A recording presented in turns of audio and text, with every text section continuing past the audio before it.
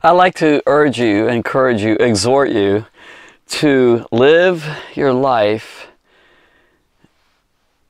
choosing the word nevertheless. it just dawned on me today that um, Jesus said, if this, let this cup pass from me, nevertheless, not my will, but yours be done. Nevertheless, you know, never, in other words, rather than doing this, rather than what I want, I want your will to be done.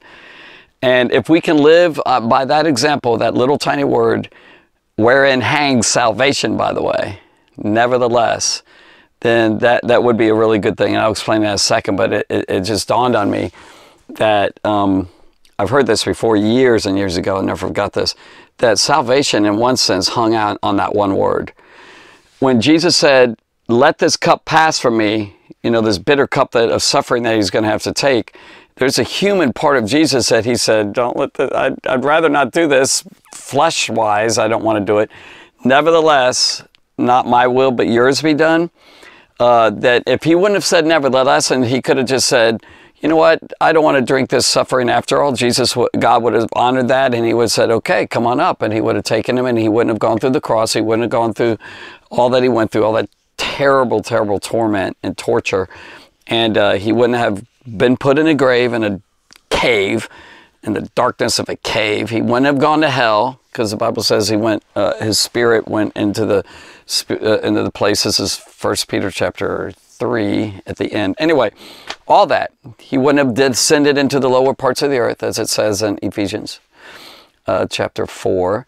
I mean, the whole thing would have just been nil, nothing, nullified. Nope, not going to do it. And remember, Jesus, the night before, in that same night, he said to Peter, Put up your sword. He said, Don't you know that I could call 12 legions, you know, thousands of angels, and my Father would have come down and stopped this whole thing. So we the salvation hung in the balance, basically, in a sense, on that one word. But back to the topic about you and me.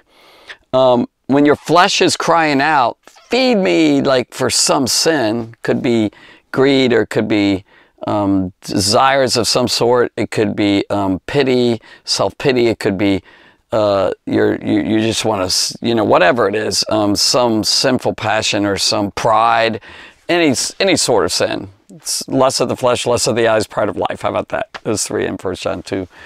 Um, nevertheless, you know, say, nope, I'm going to live by nevertheless. I'm not going to feed my sin. You know, I want this, but nevertheless, I'm going to do something else. I think we need to live on that and meditate on that and think about, nope, nope, nope, nevertheless, your will, not mine, not what I want you want to get really angry at someone because they deserve to be angry at, and you decide to be patient and kind and gentle with that person. Nevertheless, you don't want to do uh, something that God's told you to do. Like, I, I don't want to do that. Go out and share your, the gospel with this group or whatever. I don't want to do that or whatever. You know, nevertheless, you live by that nevertheless. Um, or God's calling you to move and you don't want to move. You like where you're staying. And God said, nope, I want you to live in Zimbabwe or, you know, Australia or go to China or something. No, I don't want to do it. Nevertheless, it's good. So we ought to live in that, uh, in that realm, if you will, or in that path constantly of saying, not my will, not my will, not my will.